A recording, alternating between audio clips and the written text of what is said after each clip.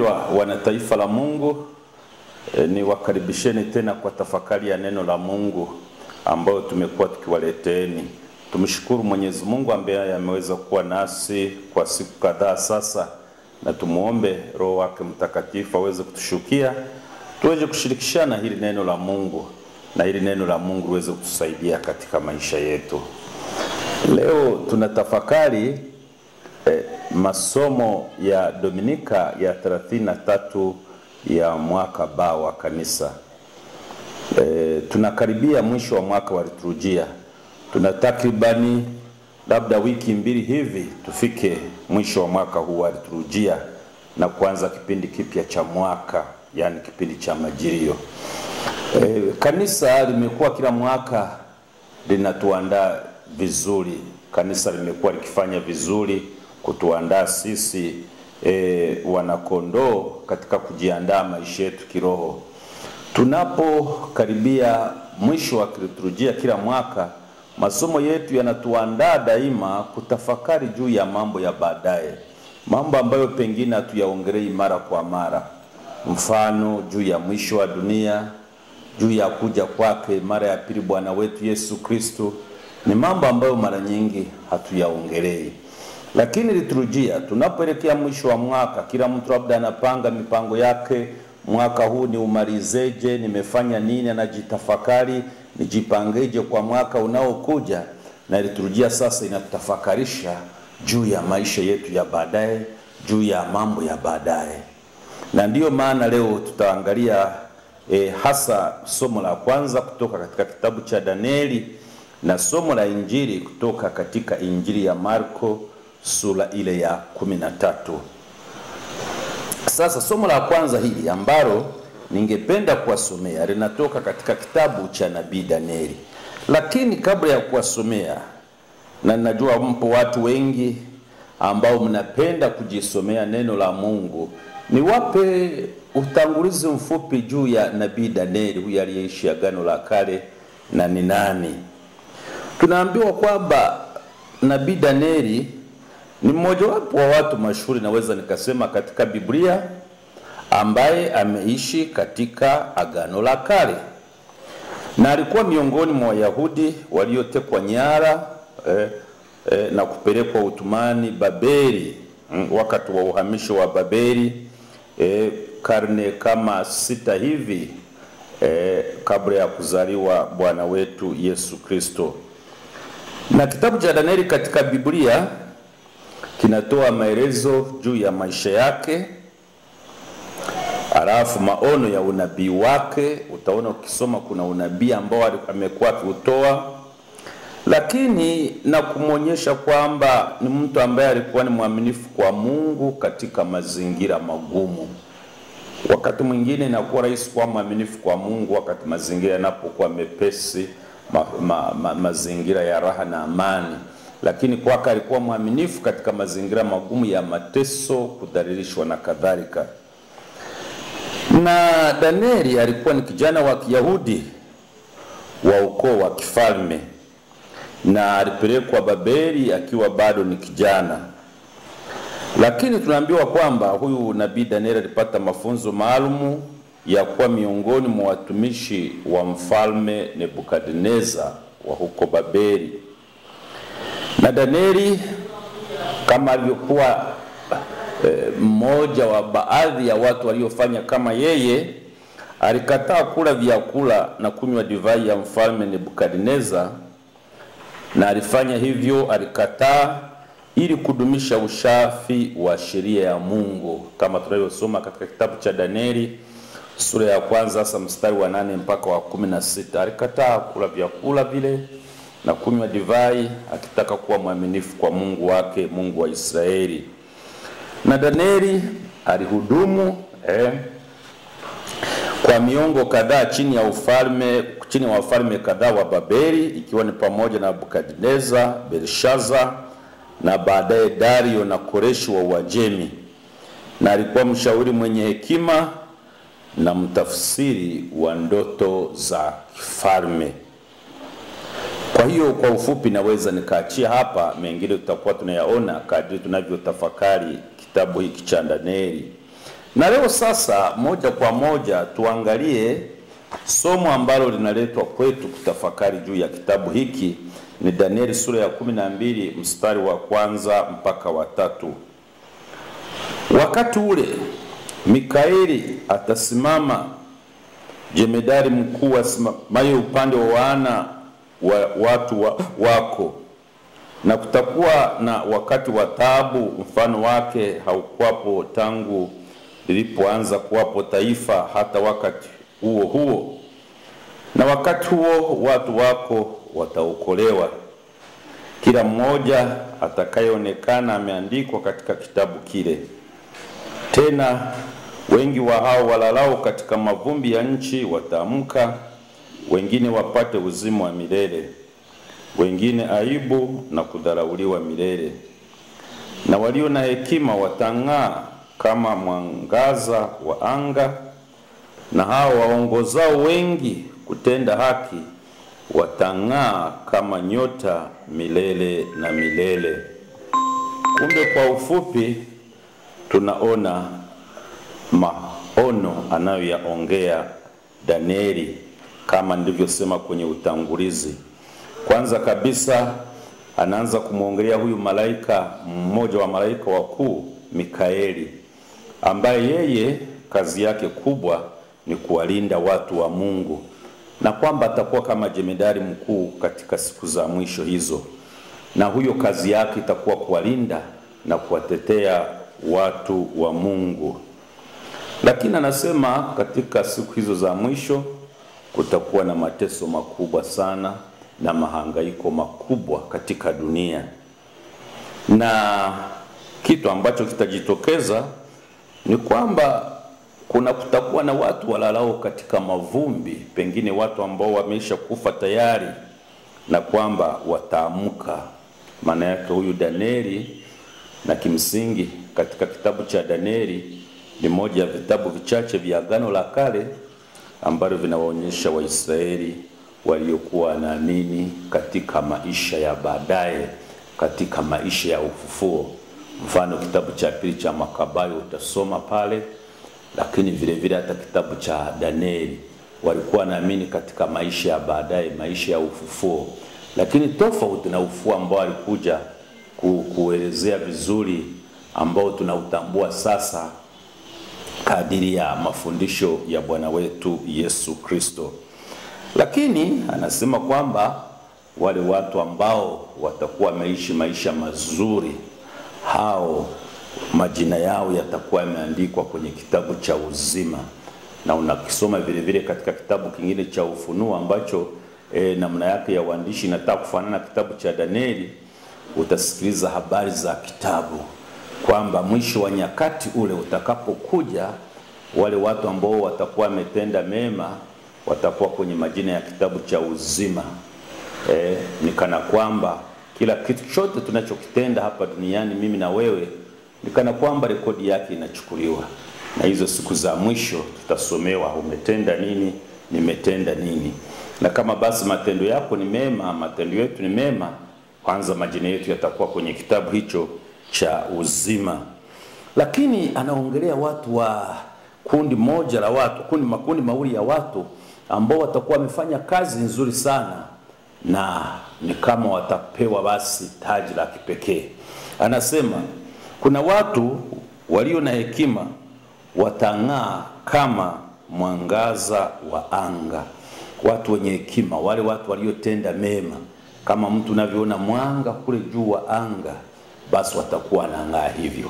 Lakini anasema wale waongozao wengi e, kutenda haki watang'aa kama nyota milele na milele, kwamba wale watu ambao pengine wakati wa maisha yao ya duniani hapa waliwafundisha watu neno la Mungu, waliwaongoza watu kutenda mema, hao sasa hawatang'aa kama ile kundi la kwanza ndio lisema hawatang'aa tu.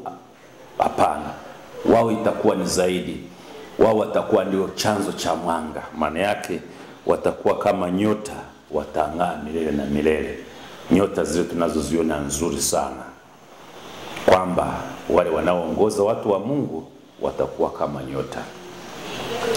Ndugu zangu, Nimesema kwamba tunaelekea mwisho wa mwaka na kipindi hiki cha liturujia kimetuletea masomo haya kutafakari juu ya maisha yetu ya baadaye.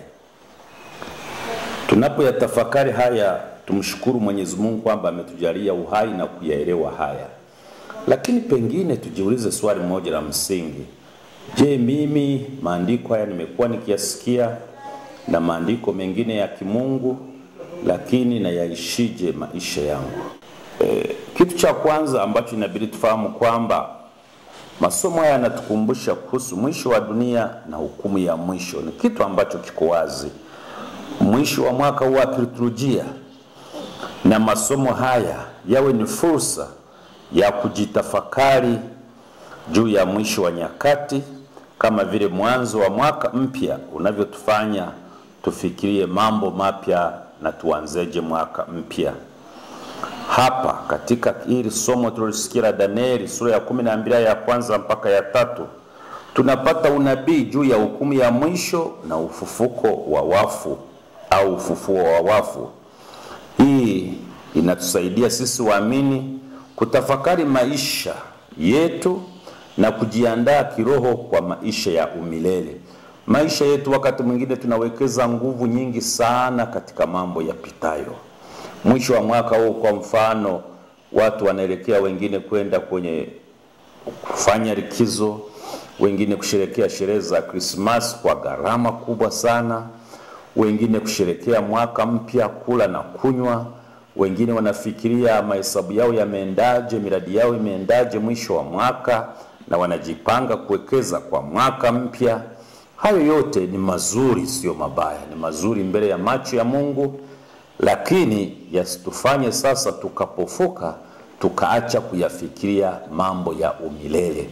Hivi mimi nitakapomaliza mambo yangu yote hapa duniani, maisha yangu yatakuwaje baadaye? Maisha yangu nitaishi maisha mapya kwa namna gani? Kwa sababu maisha hayaishi hapa, bado tunaishi kipindi cha maisha hapa duniani na baadaye tunaanza tena kipindi kipya katika ulimwengu mwingine tofauti, ulimwengu wa kimungu. Kwa hiyo tujiandae, maisha yasiwe ya hapa hapa tu. Wengi wa, wetu tunapata upofu huo wa kuishi maisha ya sasa, lakini bila kuyatafakari maisha ya mbele.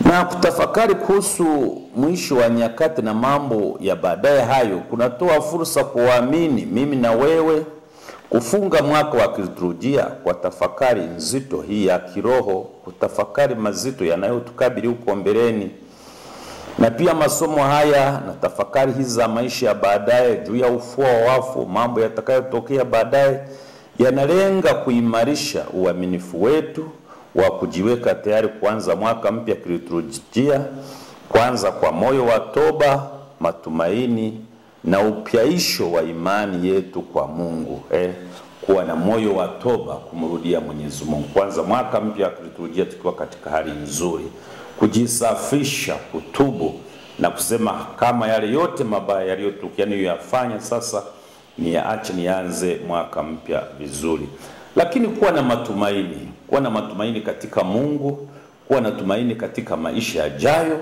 kuwa na matumaini katika Kristo kuwa na muono ambao ni mzuri mbele ya Mwenyezi Mungu. Kwa hiyo tuyazingatie hayo na tuombe Mwenyezi Mungu atusaidie, ili hasa kilicho kikubwa, majina yetu yawe yameandikwa katika kitabu cha uzima. Nimalizie na somo la Injili ambalo na lenyewe kama nilivyogusia linaongelea kuhusu mambo ya baadaye. E, Injili ya Marko sura ya 13 aya 24 mpaka 32.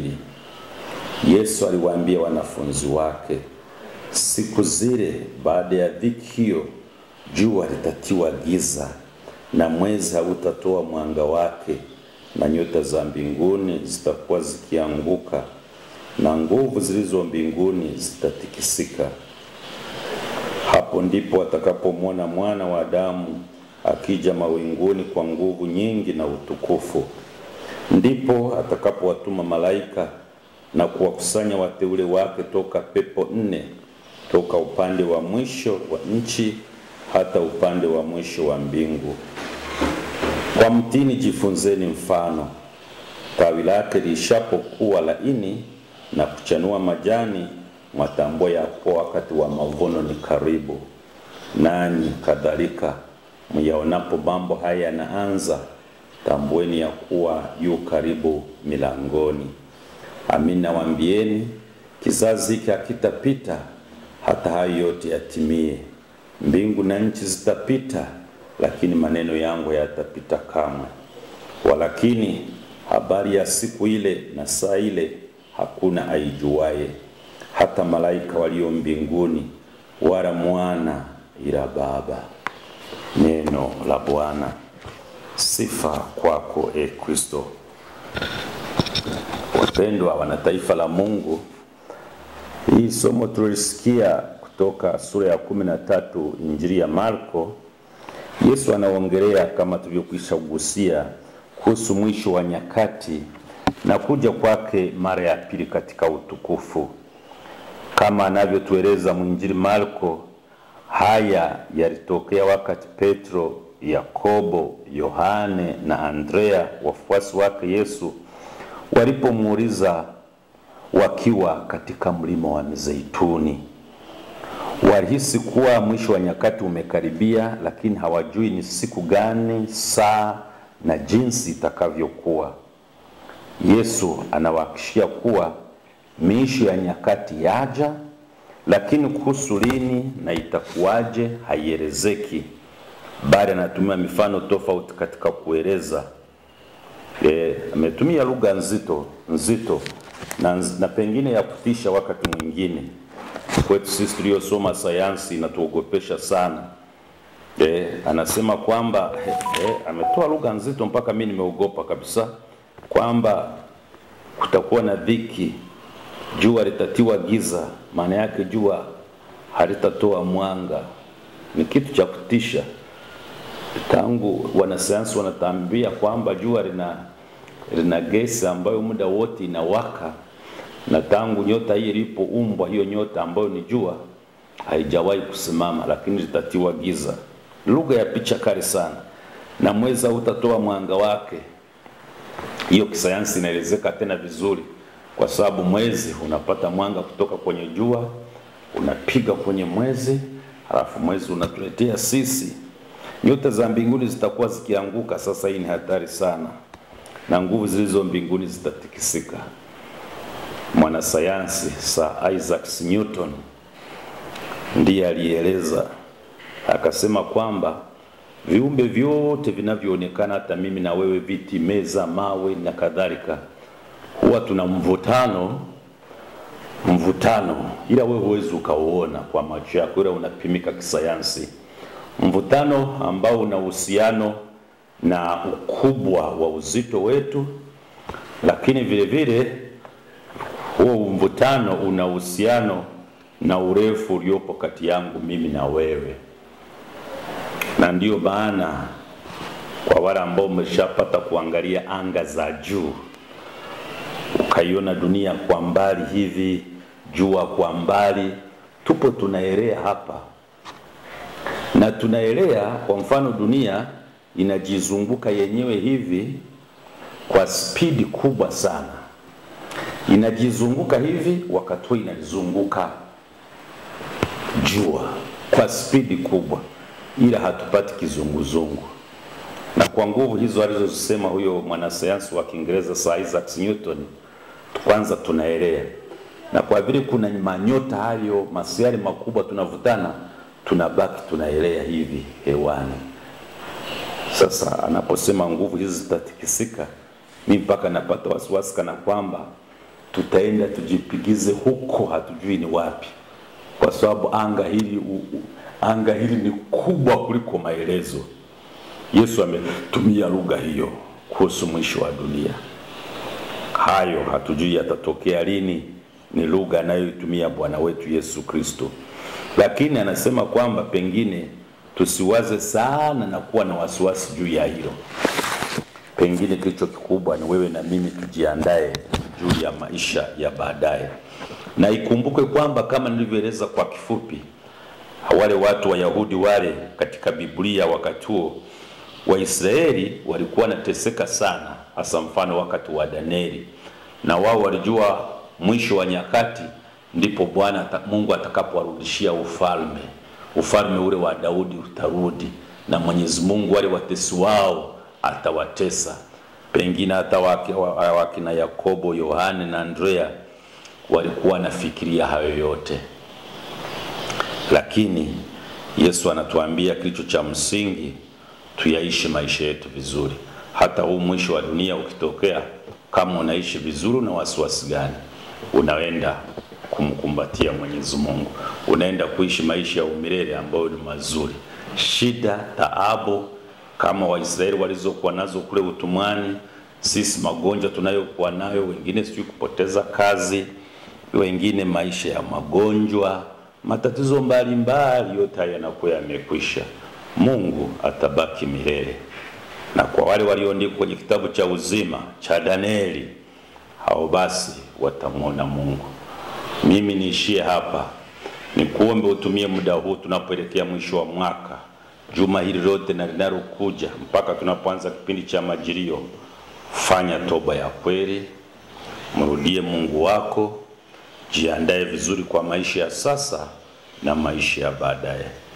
Tuendelee kuombeana sisi tunaoendelea kuishi, lakini mwezi wa kumi na moja ni wa kuombea marehemu. Tuendelee kuwaombea, Mwenyezi Mungu aweze kuwapokea kwake. Nikutakie kila lilo jema katika maisha yako ya kiroho na kimwili, kwa jina la Baba na la Mwana na Roho Mtakatifu, amina.